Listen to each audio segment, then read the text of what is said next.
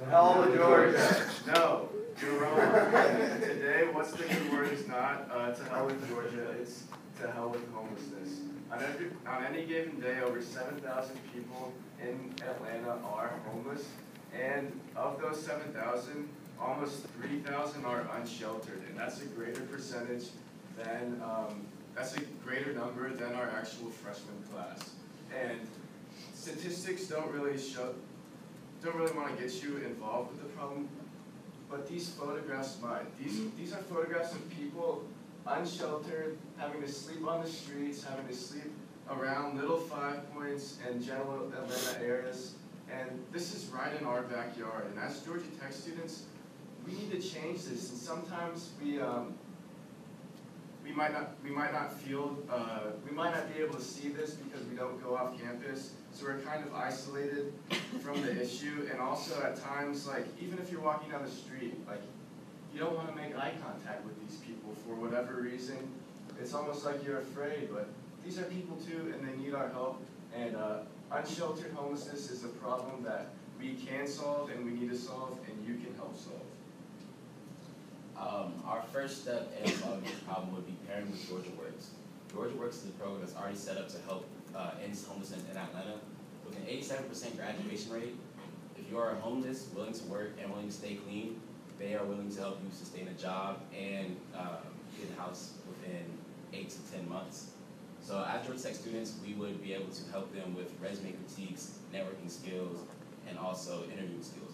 But like I said earlier, there's a huge problem in their system because it takes eight to 10 months in order to get them housing.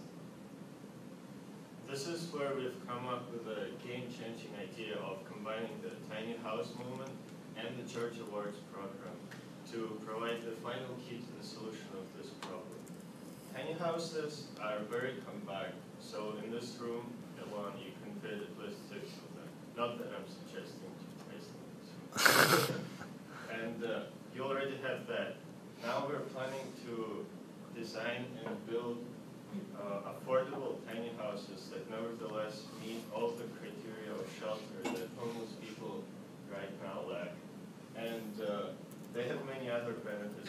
For example, they are easily transportable, so we can place them uh, around the city in the most efficient way. So where exactly are we going to allocate them? Well, we've decided to model the allocation system after the Atlanta Beltline project that's now being developed. It up empty industrial spaces and converts them to thriving communities. The great opportunity there is also that uh, a good and efficient transportation system is planned to be developed around that area so that people who are right now homeless will get a job through Georgia Works and will be able to get to and from their day job uh, pretty easily. So here's how we as tech students can get involved and help bring a solution to this problem. On our website, we have a Get Involved tab with several different options. One, engineer to build, another, volunteer, and another to donate. For engineering and building, we thought, why would, why would we have all these engineering students not be helping build tiny houses? So we thought it would be cool if everyone, or people could enter designs and layouts, floor plans for these houses and also go build them um, to help our community. The next one was to volunteer, so you could go to the Georgia Works website and um, it's just georgiaworks.net, find upcoming events near us. And then the last one was to give a donation.